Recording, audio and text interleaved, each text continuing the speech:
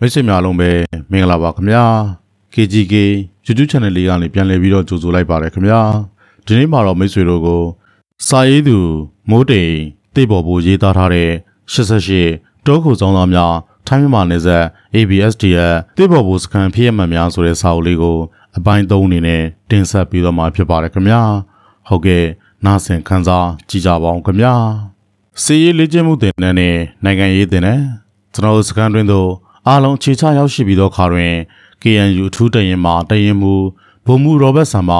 ကျောင်းသားကျောင်းသူများကိုစစ်ပညာခြေခံများသင်ကြားပေးပါတယ်။ဗိုလ်မှူးရောဘတ်ဆန်ဟာ KNU ခေါင်းဆောင်ကြီးမန်ဘတ်ဆန်၏သားဖြစ်ပါတယ်။၎င်းသည်စစ်ရေးတွေ့ကြုံကောင်းမွန်ပြီးစစ်ပညာကောင်းမွန်ပါတယ်။အထူးကျွမ်းကျင်သည်မှာဖောက်ခွဲရေးဖြစ်ပါတယ်။ဗိုလ်မှူးရောဘတ်ဆန်မှ၎င်းကိုယ်တိုင်ကိုင်းသောစစ်လက်နက်များအားတောင်းတများကိုငှားရန်ထားပါတယ်။ငါဖျားယောဂဒေသတွင် လှုပ်ရှားနေမှာတော်ကားကြမည်သွေးအေးတာနဲ့ငှက်ဖျားယောဂဝင်ဖို့နှီးစပ်ပါတယ်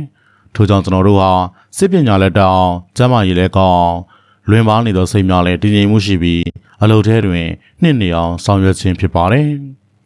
ဘုံမူရောဘတ်ဆန်ဟာကျောင်းသားများနဲ့အနိကဆုံးနေထိုင်ပြီးစစ်ပညာရပ်များဖောက်ခွဲရေးပညာရပ်များနိုင်ငံရေးသဘောတရားများစိတ်ရှိလက်ရှိတင်ပြပြီးသောပုဂ္ဂိုလ်ဖြစ်ပါတယ်။မတန်တင်ထိုက်သောပုဂ္ဂိုလ်ဖြစ်တဲ့၎ င်းချိန်တွင် ABSDF ဘိုးကော်မတီဥက္ကဋ္ဌကိုထွန်းအောင်ကျော်နှင့်အတွင်းမှုကိုတန်းဝင်းတို့ထံမှညွှန်ကြားချက်ရောက်ရှိလာပါတယ်။စခန်းရှိចောင်းသားများတရင်များဖွဲ့စည်းရန်နဲ့တရင်နံပါတ်3ရင်းစာပို့လိုက်ပါတယ်။ကျွန်တော်တို့ဟာအင်အားများသောကြောင့်တရင်3ရင်းနဲ့မရပါ။ထို့ကြောင့်တရင်9ရင်းဖွဲ့လိုက်ပါတယ်။204 205 206 216အထူးတရင်စေးတက်ခွဲစသည်တို့ဖြစ်ပါတယ်။ တရင်204တရင်မူစအောင်ခိုင်တရင်205တရင်မူကိုထွန်းထွန်းတရင်206တရင်မူဦးမျိုးချေတရင်216တရင်မူကိုတန်းနိုင်အထူးတရင်တရင်မူကိုစိုးမိုးနောက်ပိုင်းဗဟိုကော်မတီထောက်လှမ်းရေးမှုစစ်တရင်ဒေါက်တာထွန်းခိုင်စစ်တင်နန်းကျောင်းတင်နန်းမှုထို့ပြင်ဖွဲ့စည်းထားပြီးနိုင်ငံရေးမှုများဥပဒေပညာရှင်များစေပညာရှင်များစသည်တို့ဟာကျွန်တော်တို့နဲ့အတူတူတောခိုလာကြသောပညာရှင်များဖြစ်ကြပြီး၎ င်းတို့မှာတာဝန်ယူသင်တန်းပို့ချကြပါတယ်။ပြည်ပမှာပညာရှင်များလည်းအလှည့်ကျရောက်လာပြီးဘာသာစကားနိုင်ငံရေးစစ်ရေးစသည်တို့ဟာသင်ကြားပေးကြတယ်။ဥရောပနိုင်ငံများအာရှနိုင်ငံများနိုင်ငံခြားတက္ကသိုလ်ကျောင်းများမှကျောင်းသူကျောင်းသားများလှုပ်တင်သောလုံများပေးတင်သောအရာများစသည်တို့ကိုလာရောက်ကူညီကြတယ်။ထို့ပြင်အမေရိကန်အင်္ဂလန်ဂျာမနီစတဲ့နိုင်ငံများမှာ NGO များ အုပ်စုလိုက်တူးချင်းလိုက်လာရောက်ကူညီပြီးအတွေ့အကြုံများဖလှယ်ကြပါတယ်။ဒီနေ့တော့အဆောင်လင်တွင်ကိုနေဦးတို့ဟာအမေရိကန်၏လက်ရှိအောက်လွတ်တော်မှ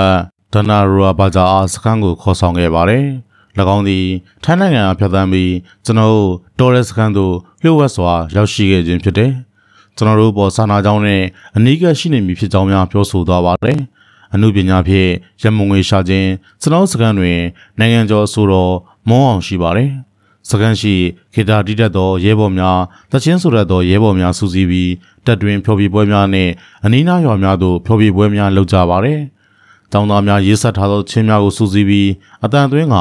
၎င်းချင်းခွေအားရောင်းချပါသည်။၎င်းငွေကြေးများဖြင့်တီရှပ်အင်ဂျီဖြူတွင်လက်ဖြင့်စကမ်းပုံဆွဲပြီးရောင်းချကာရှားသောရံပုံငွေများကိုစုစည်းပြီးလက်နက်စီဝါများလိုအပ်သလိုဝယ်ယူဖြည့်ဆည်းပါသည်။ ABSDF ဖွဲ့ပြီးဖြစ်သောကြောင့် စစ်စခန်းဖြစ်တရင်များဖွဲ့ရမည်ဖြစ်တယ်။ခွဲတန်ရတရင်သုံးရင်ဖွဲ့ရမည်။၎င်းတရင်သုံးရင်ဖွဲ့ရန်စာရရှိချိန်တွင်ကျွန်တော်စခန်းများတွင်ចောင်းသားရင်9000ကျော်လောက်ရှိနေပါတယ်။ဖွဲ့စည်းပုံထက်ပိုပြီးဖွဲ့ရတော့မည်။ကျွန်တော်တို့တေဘော်ဘိုးစခန်း၏တရင်နံပါတ်3ခုထပ်ပိုပြီးဖွဲ့ရတော့မည်။တရင်204 205 206 216စိတ်တရင်အထူးတရင်ဆိုပြီး9ရင်ဖွဲ့လိုက်ပါတယ်။ဖွဲ့စည်းပုံကတော့လူကြီးအလွန်ကြုံနေပါတယ်။ သို့တော်လည်းစကန်သီးသီးတွင် နေ့စဉ်လူဝင်အားများတည်တသာရော်လျက်ရှိတယ်။ပြန်ခွင့်တောင်းပြီးပြန်သည့်သူရှိသလိုမိမိသဘောနဲ့ပြန်တဲ့သူများလည်းရှိကြတယ်။ကျွန်တော်တို့မြေကဲ့သို့မှမထားနိုင်ပါ။၎င်းတို့ကြံ့ကြံ့မမာနဲ့အိမ်သို့ရောက်ရှိစေရန်အတွက်သာဆုတောင်းရုံရှိပါတယ်။မိမိတနိုင်သည်မှာအန်ရရှိလမ်းကြောင်းနဲ့အန်ရမရှိလမ်းကြောင်းများညွှန်ပြရုံသာရှိပါတယ်။ကျွန်တော်တို့ကျောင်းသားများနဲ့အတူအင်ဂျင်နီယာများဆရာဝန်များဝန်ထမ်းများ ရဲဘော်ဟောင်းများစေကြောင်းသားများအမှုပညာရှင်များစုံကြပါတယ်။စကန်တို့ရောက်သောအခါတွင်မိမိတို့တကြွသည့်ပညာရဖြင့်တာဝန်ထမ်းဆောင်ကြပါတယ်။ဆရာဝန်များနဲ့စေကြောင်းသားများဟာစေကူတာခြင်းစေပညာသင်ကြားပေးခြင်းရဲဘော်ဟောင်းများမှစစ်ပညာသင်ကြားပေးခြင်းစသည်များဖြင့်တော်လှန်ရေးအတွက်အကျိုးပြုပါတယ်။အမှုပညာရှင်များမှလည်းအားသည့်ချိန်တွင်ဖျော်ဖြေပေးခြင်းများဆောင်ရွက်ကြပါတယ်။ရုပ်ရှင်တရုပ်ဆောင်လောကမှာနာမည်ကြီးဒါရိုက်တာမင်းသားတူနဲ့ စတူဒီယိုဆိုတော်များလည်းတိဘောဘူစကန်ကိုတောခိုရောက်ရှိလာတယ်။ကျွန်တော်စကန်ရှိရောက်ရှိလာသောအမှုပညာရှင်များသည်မိမိတို့ဘောကြားရတာဝန်များယူကြပါတယ်။ဒေါ်ရင်စကန်တို့ရဲဘော်များနဲ့အတူစစ်တပ်တိုင်းများကိုဆင်းရဲစွာတင်ယူကြပါတယ်။၎င်းချိန်တွင်ရန်ကုန်တွင်ရှိသောရုပ်ရှင်မင်းသားမိသားစု၏နောက်ပိုင်းပြဿနာပေါ်နေကြောင်းသတင်းရောက်ရှိခဲ့ပါတယ်။၎င်းရုပ်ရှင်မင်းသားမှကျွန်တော်တို့အားရန်ကုန်ပြန်ရန်အတွက်တိုင်ပင်ပါတယ်။ ကျွန်တော်တို့အားလုံးမှလည်းကုညီနိုင်တဲ့ကိစ္စများကုညီပေးပြီးတစ်ဖက်နိုင်ငံမှာတဆင်ပြန်ထွက်ရန်လမ်းညွှန်ဆောင်ရွက်ပေးလိုက်ပါတယ်။၎င်းရုပ်ရှင်မင်းသားစာရေးသူကိုကိုဦးကိုလာအောင်ကိုစိန်ထုံးစေးကြောင်းသားနဲ့ကိုအောင်နိုင်စေးကြောင်းသားတို့ဟာသေပေါ်ဘူဈေးတန်းရှိ ABSDS စကန်ကော်မတီရုံးခန်းတွင်အတူနေထိုင်ကြသူများဖြစ်ကြပါတယ်။၎င်းမင်းသားဟာထင်ရှားသောမင်းသားဖြစ်သောကြောင့်ရန်ကုန်ကိုချုံမွေ့စွာရောက်ရှိပါတယ်။ယခုချိန်ထိအောင်မြင်ကြော်ကြားသောရုပ်ရှင်တရုပ်ဆောင်တိုင်းသာ မင်းသားတူဖြစ်ဖြစ်အောင်မြင်လျက်ရှိပါတယ်။ကျွန်တော်တို့တရင်များဖွဲ့ပြီးသောအခါပျောက်ကြားယူနီဖောင်းများအုတ်ထုပ်များစစ်ဖက်နှံများခပတ်ကြောပိုးရိပ်လက်မောင်းတစိမ့်ရင်တို့စားတဲ့ပစ္စည်းစုံလင်ရောက်ရှိလာပါတယ်။ဆက်လက်နှမလွဲ၍ကြံပစ္စည်းများရောက်ရှိလာပါတယ်။ဒေါခိုကျောင်းသားများနဲ့အတူပါရှိလာသောမြမတပ်မတော်သားရဲဘော်ဟောင်းများမှစစ်ပညာများတင် जा ပေးရန်ဖြစ်တယ်။စခန်းတွင်လည်းစခန်းကော်မတီပြောင်းလဲဖြစ်ပေါ်ခဲ့ပါတယ်။ ဥက္ကဋ္ဌဖြစ်အဆောင်တွင်တာဝန်ယူခြင်းစစ်တင်နံပေးရန်တာဝန်ပေးရပြီးနီးပြချုပ်နီးပြတွက်ဖက်နီးပြစသည်တို့ဖွဲ့စည်းပေးပြီးစစ်ပညာများကိုမြန်မာတပ်မတော်စစ်ပညာနီးတိုင်းသင်ကြားကြပါတယ်။ ABST အဖွဲ့အား၎င်းချိန်ဒီနိုင်ငံတကာမှအစိုးရများသည်၎င်းလူမှုအဖွဲ့အစည်းများသည်၎င်းအပြည့်အဝကူညီခြင်းမရှိသေးပါမသိထမင်းမသိဟင်းနဲ့အဆက်လုံရန်အတွက်အဝေးထဲအချိုးသာရရှိနေခြင်းဖြစ်ပါတယ်။ ကျောင်းသားရဲဘော်များရဲမေကျောင်းသူများတို့ဟာအာဟာရချိုးတဲ့မှုများကျန်းမာရေးချိုးတဲ့မှုစတဲ့အခက်အခဲများကြားမှာကြိုးကြိုးစားစားသင်ယူကြပါတယ်စကန်မှာကောင်းဆောင်များလည်းတူဦးတယောက်မကြံစစ်ပညာများကိုသင်ယူကြတယ်။ကျောင်းသူများသည်စစ်ပညာနိုင်ငံရေးသင်တန်းသူနာပြုများချိန်ပြေသင်ယူကြတယ်။ကျောင်းသားများကတော့စစ်ပညာအထူးတိုက်ခိုက်ရေးပညာနိုင်ငံရေးပညာရပ်များကိုသင်ယူကြတယ်။ကျွန်တော်တို့သည် သင်ကြားပြီးသောစစ်ပညာရပ်များကိုအားကျိုးမှန်တဲ့စနစ်တကျလေ့လာသင်ယူကြပါတယ်။စစ်ပညာများကိုမြမတပ်မတော်သားရဲဘော်ဟောင်းများထံမှစခန်းသိမ်းတိုက်ပွဲပညာရဲ့တောရင်းတိုက်ပွဲပညာရဲ့ညတိုက်ပွဲပညာရဲ့ခြုံကိုတိုက်ခိုက်နေပညာရဲ့ခုခံစစ်ပညာရဲ့ဖောက်ခွဲရေးပညာရဲ့စတဲ့ပညာရဲ့မှကိုပင်မဆင်းရဲစွာသင်ယူကြရပါတယ်။နေနေညညမနာမနေခက်ခက်ခဲသင်ယူကြပြီးဂျာရန်များတွင် နိုင်ငံခြားစစ်ပညာရှင်များမှလည်းရန်သူစကန်များအဆောက်အဦများနေကတိုက်ပွဲများတွင်လိုက်လံဂရုစိုက်ရမည့်ပညာရပ်များကိုလာရောက်တင်ပြပေးကြပါတယ်။ပင်မဆင်းရဲစွာတင်ယူနေကြရတော့လေစားတော့ရောက်ဒီမှာအာဟာရပြေဝသောစားတော့များစားသုံးရခြင်းမရှိပါစစ်တင်နှံများပင်မမှန်တက်ရသောချိန်ရောက်မှာရိတ်ခါခက်ခဲများဖြစ်ပေါ်လာပါတယ်နိုင်ငံခြားရောက်မြန်မာများမှပေးပို့သောရိတ်ခါများအစားတောက်များသည်တလားတစ်ချိန်လောက်သာစားရပါတယ် ဂျာရများတွင် စီမရှိဆန်ကလေးပိုင်းကျိုးငပိကောင်ကြောင့်စားသည်တို့နဲ့ပဲအဆင်ပြေအောင်စားတော့ရပါတယ်တော်တဲ့တောင်ထဲမှာရရှိသောတိဥတိရွက်စသည်တို့ကိုလည်းအလင်းသိမ့်သလိုစားရပါတယ်။ဤကဲ့သို့အစီအသားစသည်တို့ဟာအချိန်ကြာမြင့်စွာ မစားတော့ရသောကြောင့်ကျွန်တော်တို့၏သားရည်များသည်ဝါဒတာဖြော့တော့တော့ဖြစ်လာပါတယ်။မျက်နှာများတွင်စီတတ်မရှိနှာခမ်းများလည်းခြောက်စသဖြင့်ဗီတာမင်ချို့ယွင်းမှုကြောင့်ခန္ဓာကိုယ်၏စိတ်ပိုင်းများဟာပုံမှန်မရှိတော့ပါ။ သို့သောတောင်းသားကျောင်းသူများဟာညင်းညူညုံညင်ခြင်းမရှိပါ။သင်တန်းများကိုမပြတ်မကွက်စူးစမ်းသင်ယူကြပါတယ်။နည်းနည်းပါးပါးဖျားလင်ပင်သင်တန်းပြတ်မခံပါ။စူးစမ်းပြီးတင်ယူကြရပါတယ်။မြည်သည့်အတွက်ကြောင့်ဤမျှဒုက္ခဆင်းရဲခံပြီးတင်ယူနေရသည်။ရှင်းပါတယ်။မြမပြည်မိမိအိမ်ကထွက်လာကြတဲ့ကစိတ်ထဲကပိုင်းဖြတ်ထားပြီးဖြစ်ပါတယ်။ကြဆုံသွားသောညီကိုမောင်နှမများကျောင်းသားကျောင်းသူများအာနာရှင်လက်အောက်တွင်ကြားရောက်နေသော မိဘပြည်သူများနှင့်ကျောင်းသူကျောင်းသားများအတွက်ဒေါ်လာရေးကြီးအောင်မြင်အောင်လုပ်ရမည်ရုပ်ပိုင်းဆိုင်ရာအရေးရှင်းပြေးဝပါမှဒေါ်လာရေးကြီးအောင်မြင်မည်ဟုခံယူကာကြိုးကြိုးစားစားတင်ယူနေကြခြင်းဖြစ်ပါတယ်။ဒီနေ့တွင်စခန်းဥက္ကဋ္ဌ S အောင်လွင်သည်နိုင်ငံသားနှုတ်ဝါစခန်းကိုခေါ်ဆောင်လာပါတယ်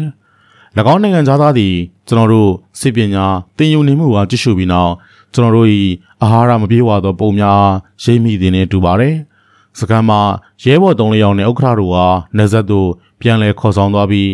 နေဆက်နွားစည်းမှာနွားရှင်နှကောင်ဝယ်ပေးလိုက်ပါတယ်။၎င်းနွားများ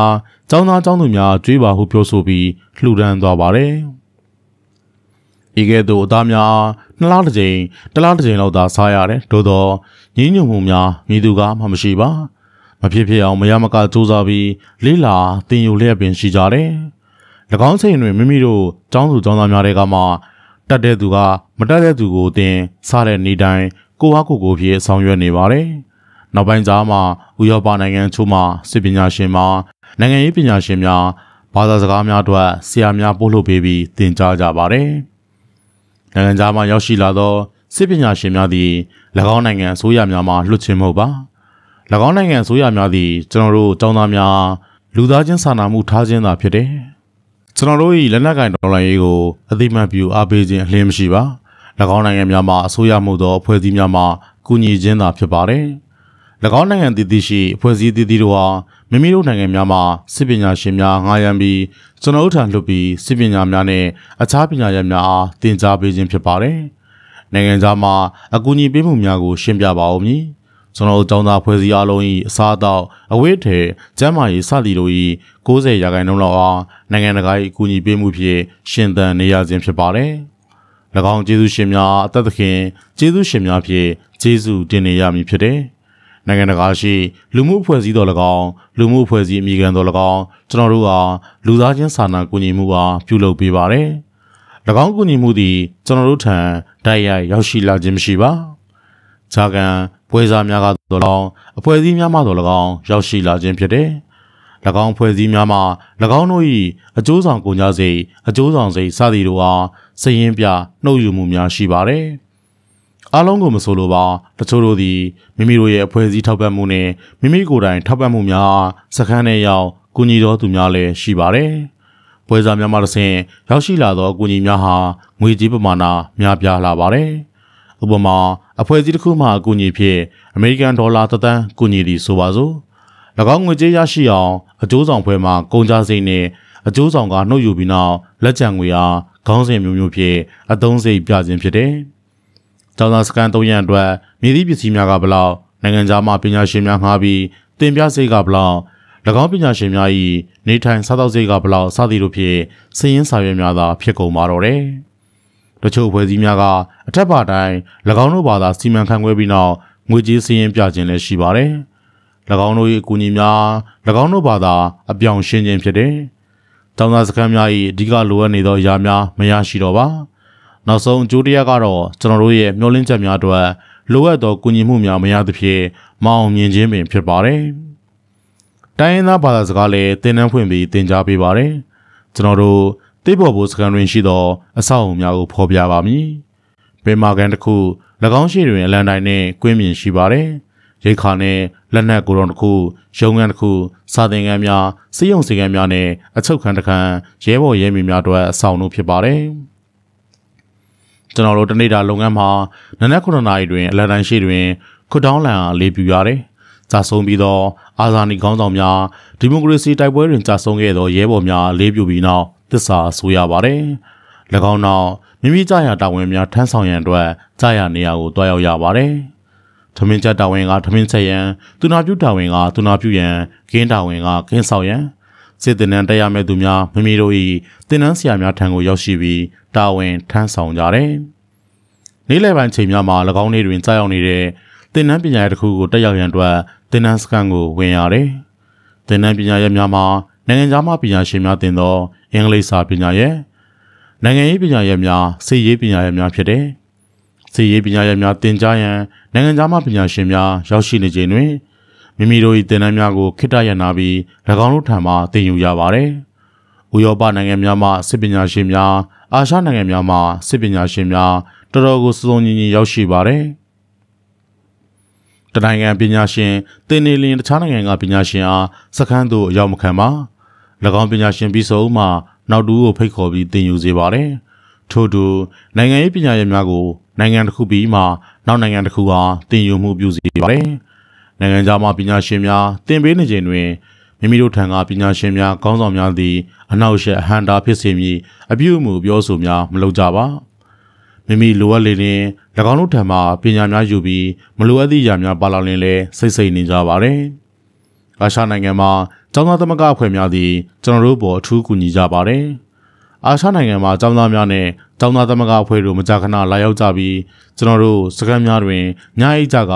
လိုအပ်သည့်အကူအညီများပေးပါတယ်။မြည်သည့်နိုင်ငံသားအဖွဲ့ပင်ဖြစ်ဖြစ်ပညာရပ်များသော၎င်းအဝိထေအစားအသောက်များသော၎င်းစေဝဒစားသော၎င်းကူညီကြပါတယ်။သို့သောမြည်သည့်နိုင်ငံမြည်သည့်အဖွဲ့ကမှဆက်လက်နဲ့ကူညီမိအဖွဲ့များမရှိပါ။ကတိလည်းမပေးတာဝန်လည်းမယူကြပါ။ ကျွန်တော်ထံတွင်ရှိသောလက်နက်များသည် KNU ထံမှငှားရမ်းထားသောလက်နက်များသာဖြစ်ပါတယ်။၎င်းလက်နက်များသည်စစ်တိုက်၍မရပါကျန်းခိုင်ရင်မကောင်းတော့ပါမိမိတို့ចောင်းသူចောင်းသားများ၏လောအားဖြင့်ရှာဖွေသောငွေကြေးဖြင့်မှောင်ခိုဈေးကွက်မှဝယ်ယူထားသောလက်နက်များလည်းရှိပါတယ်သို့သောလုံလုံလောက်လောက်မရှိပါ၎င်းချိန်တွင်ကျွန်တော်သည်စီရေးတာဝန်ခံဖြင့်စတင်ဆောင်ရွက်နေဖြစ်ပါတယ် ABSDF ဘိုးကော်မတီနှင့်ကျွန်တော်တို့၏စကန်စားတွင်ဖြစ်ပေါ်မှုကိုရှင်းပြပါမည် ကျွန်တော်တို့၏စကန်ကော်မတီတွင်ဥက္ကဋ္ဌနှင့်တွင်ရင်မူနိုင်ငံသားရေးတာဝန်ခံတို့သည်ပြင်ပတွင်စကိုင်းပြင်ပတစ်ဖက်နိုင်ငံတွေတွင်ရိတ်ခါများရှာဖွေခြင်းနိုင်ငံခြားနှင့်ဆက်ဆံခြင်းလိုအပ်လျင်စကိုင်းကိုခေါ်ယူပြီးចောင်းသူចောင်းသားများနဲ့တွေ့ဆုံပေးခြင်းများလှုပ်ဆောင်ပါတယ်ကျွန်တော်ကစကိုင်း၏ထွေထွေအုပ်ချုပ်ရေးနှင့်စစ်ရေးနိုင်ငံရေးများအနီးကပ်ဆောင်ရွက်ပါတယ်အုပ်ချုပ်ရေးကိစ္စသည်အလွန်စိတ်ညစ်စရာဖြစ်ပါတယ်များသောအားဖြင့်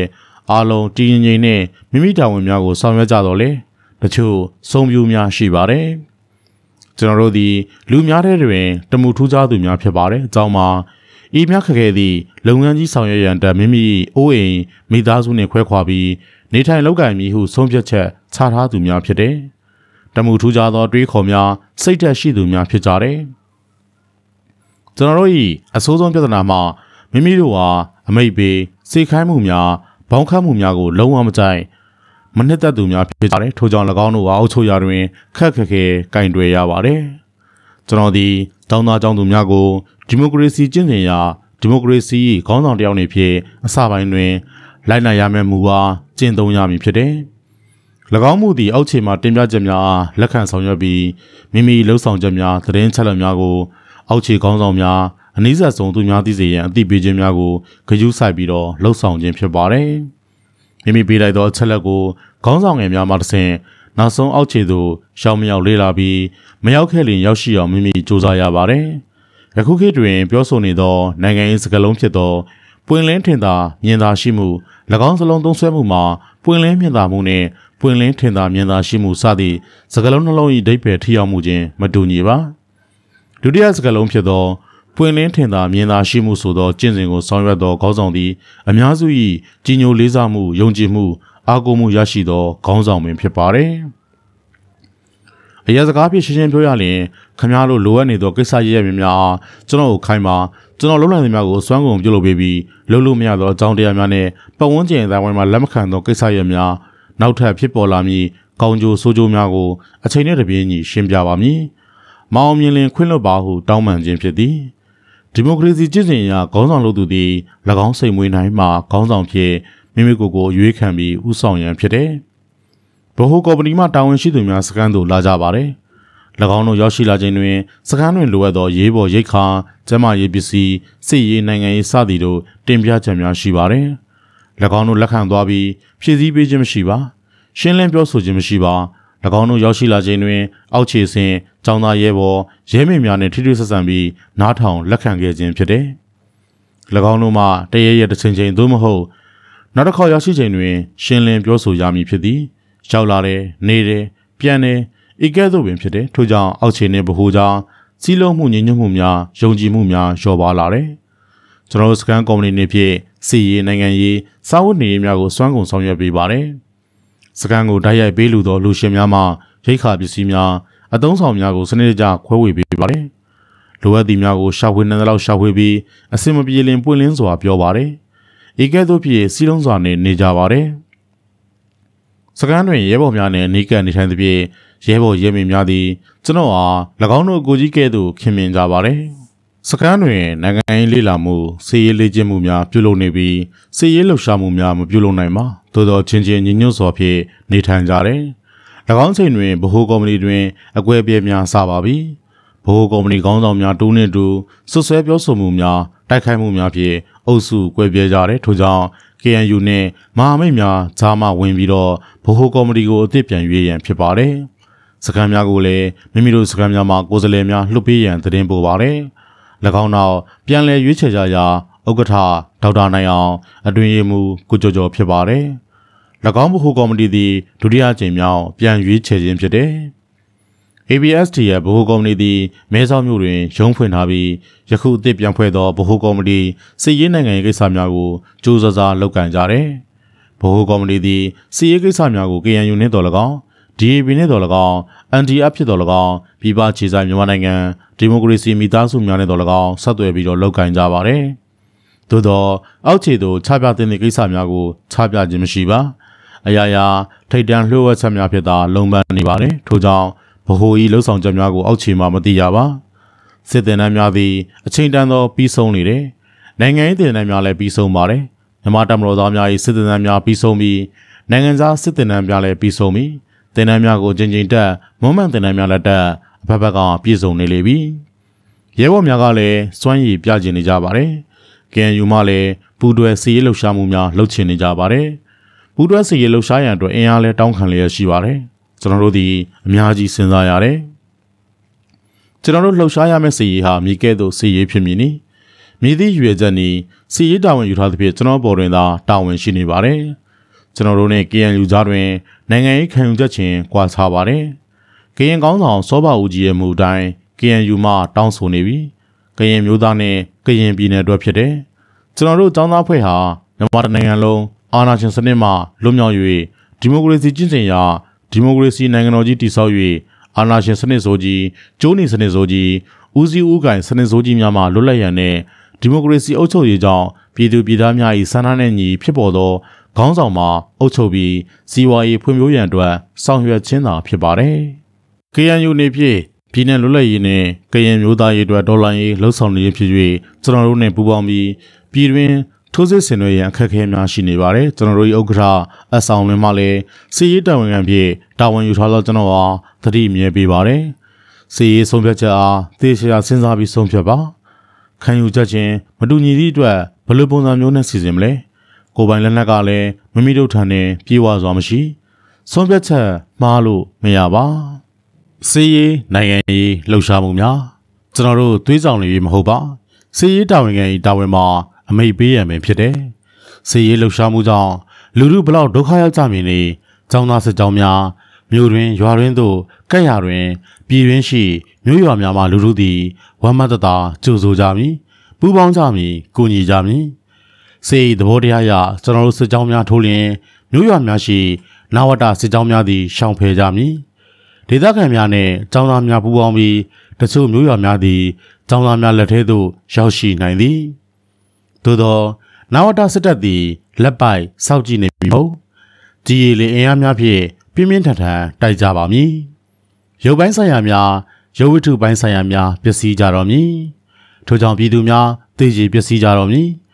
နောက်ထပ်ရေးကြီးဆုံးမှာစစ်အတွက်စစ်ရိတ်ခါများပင်ဖြစ်တယ်နောက်ပိုင်းအကြောင်းမျိုးကြောင့်ကျွန်တော်တို့စုတ်ခွာပေးလိုက်လျင်ကြံရှိသောပြည်သူလူထုသည်နာဝတစစ်တပ်၏ပြင်းပြင်းထန်ထန်နှိပ်စက်ခြင်းကိုခံရတော်မူ နိုင်ငံကယ်တင်ရေးပြည်သူလူထုကယ်တင်ရေးဆိုပြီးစီရေးလှုပ်ရှားမှုကြောင့်နိုင်ငံပျက်စီးရေးမြို့ရွာပျက်စီးရေးလူလူပျက်စီးရေးဘက်သို့ရောက်ရှိသွားမည်ဖြစ်သည်စီရေးတကြွသောခေါင်းဆောင်တို့ချို့တရင်မှုတို့ချို့စီရေးတကြွသော KNU တို့ကြားတော်တော်ကြီးထိန်းယူရပါတယ်စီရေးလှုပ်ရှားခွင့်မပြုသောကြောင့်တချို့ခေါင်းဆောင်များနဲ့ရဲဘော်များသည်ကျွန်တော်ပေါ်တွင်အမြင်မကြည်လင်မှုများဖြစ်ပေါ်လာတယ်။ကျွန်တော်မှတိုက်ဖို့အချိန်တန်ရင်တိုက်ကြမယ်စစ်တပ်ရန်အတွက်ကျွန်တော်တို့၏ကိုပိုင်လက်နက် စစ်အိတ်ခါများပြည်စုံသည့်ချိန်ကြလျင်ကျွန်တော်တို့စစ်ကြီးဆင်နွှဲပါမည်ဟုဂရိပြုတောင်းပန်ရပါတယ်။ကျောင်းသူကျောင်းသားများအားခြေနဲ့နားလဲစေရန်အတွက်လည်းရှင်းပြရပါတယ်။ဘာအတွက်ကြောင့်ပြည်တွင်းထိုးစစ်မစင်သနီးဆိုသည့်မိကုံအားဖြေကြရန်အတွက်အကြောင်းပြချက်တစ်ခုနဲ့မလုံလောက်ပါ။ကျောင်းသားကျောင်းသူရဲဘော်တို့သည်တာမန်လူများမဟုတ်ကြပါစိတ်ဓာတ်မြင့်မားသူများနဲ့လှုပ်ချင်ကာကျင်စိတ်ကြောင့်တော်တွင်ရောက်ရှိသူများဖြစ်ကြတယ် စစ်လက်နက်စီအိတ်ခါလွဲသည်ဖြစ်တော်လဲ KNU တပ်မဟာ6ကုညီမီဟု ပြောဆိုထားပြီးပြီဖြစ်တယ်သို့သောကျွန်တော်တို့သည်ပြည်ထောင်စုလွတ်လပ်မှုနဲ့ပြည်သူလွတ်လပ်မှုဟူသည့်အကျိုးတရားများအတွက်စဉ်းစားရပါပြီကျွန်တော်တို့နဲ့ရင်းနှီးဆုံး KNU ၏နိုင်ငံရေးခံယူချက်များတော်လှန်ရေးခံယူချက်များအားကျောင်းသူကျောင်းသားရဲဘော်များကိုနှုတ်ဖြင့်ဒေဒိုးဖွင့်ပြော၍မတင်ပါချိန်မီ၍ခေါင်းထဲကိုဦးစားကွဲသွားနိုင်တယ်စကလုံးများကို စင်ဝိရန်ရှောင်များနဲ့သာပြောဆိုနေရပါတယ်၎င်းစီရေးလှူရှားမှုအတွက်ဆုံးဖြတ်ချိန်တွင်ကျွန်တော်၏အသာရင်းပြီးတော့ဆုံးဖြတ်ရခြင်းဖြစ်ပါတယ်ချိန်မီကျွန်တော်အားလှုပ်ကြံနိုင်ပါတယ်လှုပ်ကြံဖို့လည်းကြိုးစားကြတယ်ထို့ကြောင့်တရင်200လေးတရင်မှုနဲ့ခွဲမှုများဟာကျွန်တော်ဘေးတွင်ဝိုင်းရန်လေးရဲ့စောက်ရှောက်ပေးကြပါတယ် ABST ရဲ့ဗဟိုတွင်လည်းစစ်ကော်မတီဖွဲ့ပြီးဗဟိုစစ်ကော်မတီခေါင်းဆောင်ကကိုထွန်းဦးဟုထင်ပါတယ်ထောင်လိုင်းတာဝန်ခံကတော့ ကိုစိုးမိုးဦးဖြစ်ပါတယ်၎င်းတို့ဟာကျွန်တော်တို့၏စစ်စခန်းကိုရောက်ရှိပြီး KNU တပ်မဟာ၏တပ်မဟာမူဗိုလ်မှူးကြီးရွှေဆိုင်နဲ့တွေ့ကြပါတယ်လိုက်ပို့ပေးပါဟုပြောပါတယ်ဗိုလ်မှူးကြီးရွှေဆိုင်ဟာဝေါ်လေးစခန်းတွင်နေပါတယ်ကျွန်တော်စခန်းမှာ9မိုင်6မိုင်လောက်ဝေးပါတယ်ကျွန်တော်လည်းကားစီစဉ်ပြီးတော့လိုက်ပို့တယ်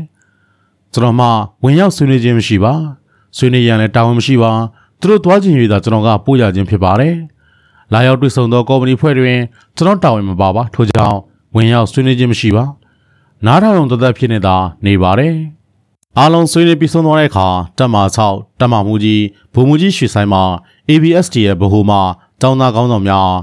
မင်းတို့နောက်လာစရာအကြောင်းရှိရင်မလာပါနဲ့ကျွန်တော်ကလက်ညှိုးထိုးပြီးသူရှိတယ်လေစီရေးတောင်ငယ်နဲ့ငါဆွေးနွေးရင်ရပါတယ်ဟုပြောဆိုပါတယ်၎င်းတော့တက်မှမှုကကျွန်တော်ဟာတီးခြားခေါ်ယူပြီးစီရေးကိစ္စများဆွေးနွေးပါတယ် ငွေကြေးကိစ္စများမစင်စားရန်ပြောပြီး၎င်းဘေးတွင်ချထားသောကျွန်းတက်တာကြီးများကိုလက်ညှိုးထိုးပြီးတော့အဲ့ဒီထဲမှာနိုင်ငံသားငွေလုံလောက်ရှိတယ်ဟုပြောပါတယ်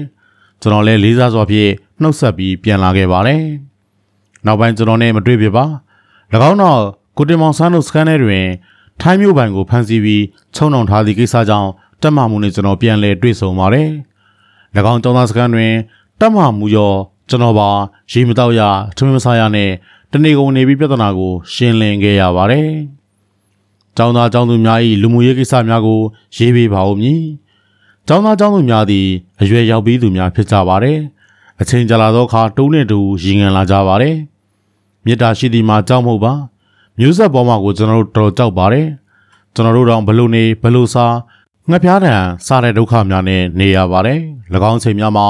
နောက်မျိုးဆက်များပွားများရောက်လာရင်မိကဲ့သို့ဖြည့်ရှင်းကြမလဲဆိုတဲ့ပြဿနာပင်ဖြစ်ပါတယ်။ကျွန်တော်စကန်ဟာတဖြည်းဖြည်းနဲ့လူဝင်အားများရော့လာရာ1989နှစ်လယ်ပိုင်းတွင်တထောင်ဝန်းကျင်သာကျန်ပါတော့တယ်။နိုင်ငံတော်မှပြန်ကျင်သည့်ចောင်းသားများ89နှစ်စပိုင်းတွင် ပြန်လည်ခေါ်ဆောင်ရာပြန်မဲ့ចောင်းသားများလည်းရှိကြပါတယ်။ပြည်ပသို့ထွက်ခွာမည့်ចောင်းသားများလည်းရှိကြပါတယ်။ကျွန်တော်ကတော့ ။ကျောင်းသားစခန်းတွင်ကျောင်းသားရဲဘော်များနှင့်လုံနိုင်သည့်လုံများကိုလက်တွဲပြီးလောက်ကန်လျက်ရှိတယ်။ပြန်ကျင်သောကျောင်းသားများကမိမိစီစဉ်ပြီးပြန်ကြပါတယ်။ကျွန်တော်တို့ကတာစီခြင်းကန့်ကွက်ခြင်းများမလုပ်ပါ။အကြောင်းမှာအခြေအနေရရက်ကိုသိနေ၍ဖြစ်ပါတယ်။စီရေးစံသတ်မှုကျွန်တော်အနေဖြင့် KNU တို့၏လက်နက်ငွေကြေးစသည်တို့ဖြင့်အကူအညီယူပြီးပြည်တွင်းသို့ထိုးစစ်ဆင်နွှဲလိုရပါတယ်။ လိုအပ်သောစစ်လက်နက်ငွေကြေးကျွန်တော်ရဲဘော်ရဲမိများ၏ပူပူနွေ့နွေ့တင်ထားသောစစ်ပညာတက်ကြွသောစိတ်ဓာတ်အနစ်နာခံမှုများနှင့်ပြည်တွင်ရမီရဖာပြည်သူများ၏ပူးပေါင်းကူညီမှုစသည်တို့ကြောင့်စစ်ကြောင်းများဖြင့်မွန်နှင့်ကရင်ပြည်နယ်များကိုထိုးစစ်ဆင်နိုင်ပါတယ်။အောင်မြင်ဖို့လည်းလားလာရှိပါတယ်။ပြည်တွင်းစစ်မီးတောက်ကြီးကြောင့်ပြည်သူပြည်သားများတေကျေပျက်စီးမဲ့ရေအားကြည့်ပြီးပြည်တွင်းထိုးစစ်အားစစ်ရေးတာဝန်ခံမှခွင့်ပြုခြင်းဖြစ်ပါတယ်။ 1989ခုနှစ်နှစ်ကုန်မလောက်လို့ထင်ပါတယ်။ကျောင်းသားစစ်တပ်ဖွဲ့ဝင်တို့သည်စစ်တပ်များများပထမဆင့်ပြီးဆုံးချိန်ပင်ဖြစ်မည် KNU တပ်မကြီးလောက်ခံတရင်ချိုနဲ့တေဘော်ဘူကျောင်းသားစခန်းတရင်206တရင်မူဦးမျိုးချစ်တပ်တို့ပူးပေါင်းပြီးမော်လမြိုင်မြို့တွင်းသို့တညတာဝင်ရောက်ခဲ့ပါတယ်။၎င်းကျောင်းသားတပ်260ကျောင်းမြို့တွင်းသို့ဝင်ရောက်ပြီးပြစ်ခတ်မှုတချို့လုပ်ခဲ့ပါတယ်လို့သိရပါတယ်။၎င်းချိန်တွင်မော်လမြိုင်မြို့တွင်းတွင်လုံခြုံရေးချထားသော မြန်မာတပ်မတော်စစ်ကြောင်းများမှပြစ်ခတ်ခြင်းရင်ဆိုင်တိုက်ခိုက်ခြင်းအလင်းမလုပ်ပါ၎င်းတို့လုံခြုံရေးယူထားသောနေရာမှပင်တပ်ဖို့အားမှမခွာပါ။ကျောင်းသားစစ်ကြောင်းများအောင်မြင်စွာဖြင့်ပြန်လည်ဆုတ်ခွာခဲ့တယ်။၎င်း206စစ်ကြောင်းသည်၎င်းတို့ဟာတော်ရင်တွေ့ကြုံများရရှိရန်နှင့်ကျောင်းသားရဲဘော်များတော်တွင်စီရေးလှုပ်ရှားမှုတင်နန်းများပေးရန်အတွက်လွှတ်လိုက်ခြင်းဖြစ်တယ်။နဝတစစ်ကြောင်းများနှင့်ထိတ်တိုက်ရင်ဆိုင်ခြင်းမရှိရန်လည်းတင်ပြထားပြီးဖြစ်တယ်။တမတော်စစ်ကြောင်းများနဲ့ တော်လိုင်းစစ်ကြောင်းများတော်ရင်လှုပ်ရှားမှုများမတူညီကြကြခံယူချက်ချင်းလည်းမတူညီကြကြ။တပ်မတော်စစ်ကြောင်းများစစ်ရေးလှုပ်ရှားလျင်ရိခါပြေဝရှိပြီးနောက်ပိုင်းလိုအပ်ချက်များကို ထောက်ပံ့ပေးမှုများရှိတယ်။ဒေါ်လာရင်းစစ်ကြောင်းများတွင် အခြေခံစံတစ်ခုသာပါရှိပြီးဒေါ်ရင်ရှိအသီးရွက်ပင်များကိုရယူစားသုံးခြင်းဖြစ်တယ်။ဒေါ်ရင်ရှိတချို့အသီးရွက်များသည်ဝမ်းချုပ်ပြီးတချို့အသီးရွက်များသည်ဝမ်းနူးခြင်းများရှိတယ်။ ထို့ကြောင့်၎င်းပညာရပ်များတင်ကြားရန်အတွက်ဒေါ်ရင်ချီတဲ့လှုပ်ရှားခြင်းဖြစ်တယ်။ဒီနေရာတွင်တိုက်ဆိုင်မှုရှိသဖြင့်စာဖတ်သူများတင်ပြပါဦးမည်။အထက်တွင်ရေးခဲ့သည့်တိုင်ဒေါ်ရင်ចောင်းသားစစ်ကြောင်းများနဝရတပ်များနှင့်ထိတ်တိုက်ရင်ဆိုင်ခြင်းမဖြစ်ရအောင်နဝရတပ်များစခန်းချမဲ့နေရာလှုပ်ရှားသည့်နေရာများမူစီရေးလှုပ်ရှားမှုပြုလုပ်ခိုင်းပါကျွန်တော်တို့သည်သွေးစာလူသက်ချင်၍တောခိုစီရေးလေ့ကျင့်နေခြင်းမဟုတ်ပါဆီယနာရှင်လက်ထက်များမှစီးပွားရေးပညာရေး လူနေမှုဘဝများနှိမ့်ချနေခြင်းကြောင့်တော်လှန်ရေးလုပ်နေခြင်းဖြစ်သည်ထိပ်ပိုင်းဆိုင်ရာပြောင်းလဲမှုစစ်စင်ရေးများသာလှုပ်ဆောင်လိုခြင်းဖြစ်ပြီးအောက်ခြေဖွဲ့စည်းများတိုက်ခိုက်ချိန်မုန်းလိုခြင်းမရှိခြင်းကြောင့်ဖြစ်ပါတယ်။ထိုနည်းတူနဝတစစ်ကြောင်းမှုတချို့တို့သည်ចောင်းသားစခန်းများចောင်းသားစစ်ကြောင်းများတိုက်ခိုက်ခြင်းကိုညှင်းဆန်မှုကြောင့်ထုတ်ပယ်ခြင်းခံရသောအရာရှိကြီးများပါဝင်တပ်မတော်သားတော်တော်များများရှိခဲ့ပါတယ်။ထို့နောက်တစ်ဖက်အဖွဲ့အစည်းတွင်ရက်တည်နေသောသူများတွင်တချို့သည်ကျွန်တော်တို့၏မိတ်ဆွေများရှိပြီး အားလုံးရန်သူများမဟုတ်ကြောင်းကိုအလုတ်ကလက်တွေပြခဲ့ပြီးဖြစ်တယ်။မြို့ရင်းပိုင်းစစ်စင်ရေးအတွက်ခွင့်ပြုထားခြင်းမရှိပါထို့အတွက်ကြောင့်တရင်မှုဖြစ်သူဟာအောင်ပွဲနဲ့တူပြန်ရောက်လာတော့လေ၎င်းကဝေဖန်ပြစ်တင်ခြင်းခံရပါတယ်။၎င်းဖြစ်စဉ်များမှာဒေဘော်ဘူစကန်မှာစစ်ရေးကော်မတီနဲ့စစ်ရေးတာဝန်ခံတို့မသိဘဲခွင့်ပြုချက်မရှိဘဲလှုပ်ရှားသောစစ်စင်ရေးဖြစ်တယ်။သို့သောကျွန်တော်တို့စစ်ရေးကော်မတီအတွက်ထူးခြားသောအချက်လက်များရရှိခဲ့ပါတယ်။ကျောင်းသားတပ်မတော်ရဲ့စစ်ရေးလှုပ်ရှားမှုစွမ်းရည်များသိရှိရခြင်းနဲ့ ပြည်တွင်းမှာတုံ့ပြန်မှုများသိရခြင်းပင်ဖြစ်ပါတယ်။ထို့ကြောင့်206တရင်မှုဦးမျိုးချီစစ်ရေးလှုပ်ရှားမှုချိန်လမ်းကြောင်းနင်းပြူဝါစသည်တို့သည်ကျွန်တော်တို့စစ်ရေးလှုပ်ရှားခဲ့လင်များစွာထောက်ကူရရှိမည်ဖြစ်သည်